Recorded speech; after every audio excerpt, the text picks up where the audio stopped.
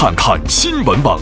近日有媒体爆出，四十六岁的王祖贤有望复出，除了加盟综艺节目《私人定制》，还将参演冯小刚的电影《私人定制二》，全部酬劳高达千万，这是真的吗？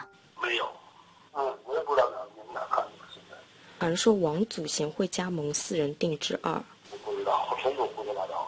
原来小倩复出只是谣言，事实上，关于王祖贤复出的消息，早在她去年返港时就曾经爆出过。